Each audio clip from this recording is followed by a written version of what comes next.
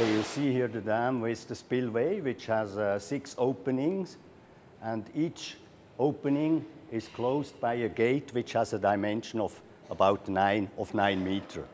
The dam itself has a height uh, above the foundation of about 130 meters.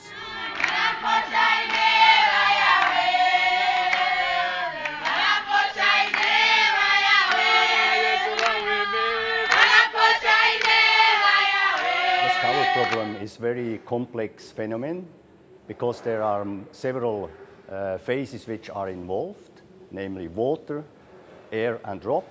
And so if the high velocity jet which comes out of the dam plunges into the plunge pool, a lot of air is entrained, and then the jet hits the rock, and there it exerts very high fluctuating pressures.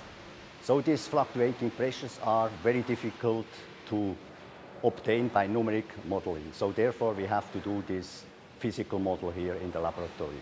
Knowing uh, how the pressure will act on the rock and how it will propagate into the fissures, we can predict how deep the scour hole will be in next 10 or 20 years.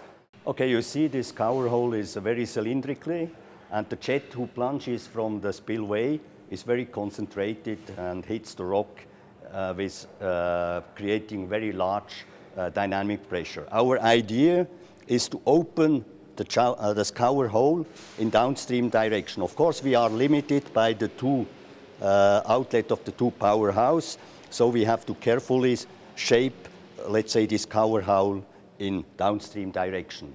Of course, you may ask how it will be difficult because there is about uh, 80, 90 meter of water, how we can excavate this rock. So we will, in principle, drill from, uh, from the surface, from the platform, uh, holes into the rock, where we can then put dynamite and make kind of underwater blasting.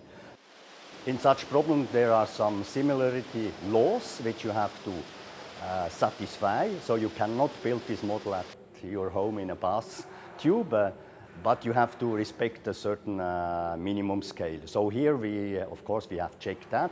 And with the scale of 1 to 60, we can say that the pressure fluctuation which we will measure, we can transfer with the similarity law into the prototype correctly.